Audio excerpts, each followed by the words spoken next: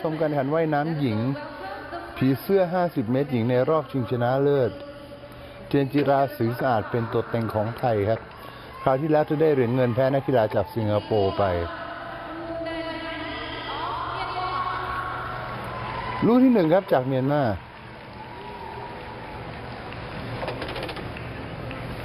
ลู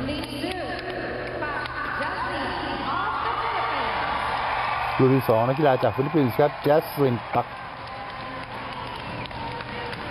ลูกที่สามนักกีฬาจากสิงคโปร์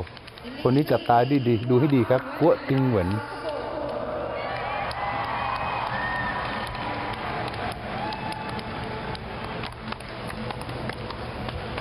เป็นแชมป์เก่านะครับกัวติงเหวินและเจนจิราสีสะอาดของไทยครับ อยู่ในลู่ที่สี่ มาวัดกับกัวติงเหวินแหละครับรุ่นที่สามกับรุ่นที่สี่ดวลกัน และคนนี้น่าจับตาครับจัสมินของฟิลิปปินส์รูปร่างดีมากๆ ก็มีรุ่นที่สามรุ่นที่สี่รุ่นที่ห้าเนี่ยนะครับ ที่เราเห็นรอบคัดเลือกจากช่วงเช้า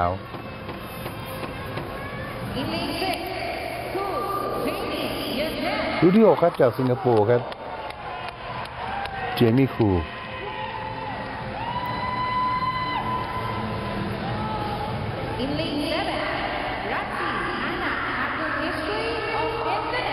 รุ่นที่เจ็ดจากอินโดนีเซียครับ อานักราติ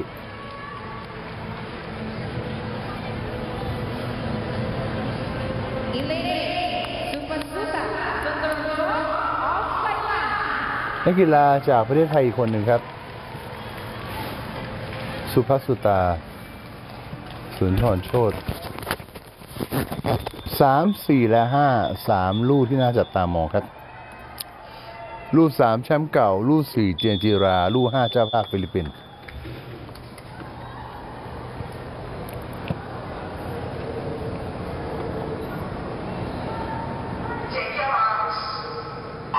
ไม่มีกลับตัวครับ แตะขอบสระคือจบเลยกัวติงเหวินลู่ที่สามลู่ที่สี่เจนจิราสีสะอาด และลู่ที่ห้าฟิลิปปินส์ ตอนนี้เจนจิรามาดีครับ เจนจิราหมวกสีชมพู เจนจิราตอนนี้เป็นรองนิดนิดเร่งได้ไหมเจนจิรา เจนจิราเร่งขึ้นมา เร่งขึ้นมาจะทันกัวติงเหวินแชมป์เก่าไหม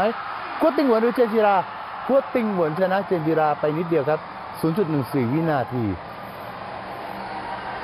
ป้องกันเหรียญทองไว้ได้ครับกัวติงหวนจากสิงคโปร์เจ นจิราก็แสดงความยินดีก็ติงหวนก็บอก thank you ขอบคุณค่ะ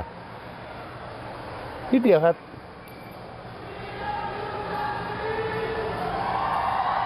วัดกันสองคนตลอดเรสเลยนะครับ เจนจิรากับโคติงเหวินแต่เป็นโคติงเหวินแต่ขอบสาก่อนครับ ป้องกันแชมป์ผีเสื้อ 50 เมตรหญิงไว้ได้ เจนจิราหมวกสีชมพูครับ แต่เป็นที่สอง เทคนิคดีเร็วมากครับ women.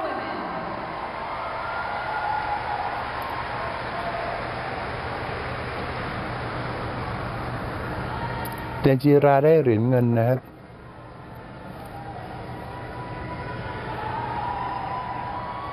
และเหรียญทองแดงเป็นจัสมินของฟิลิปปินส์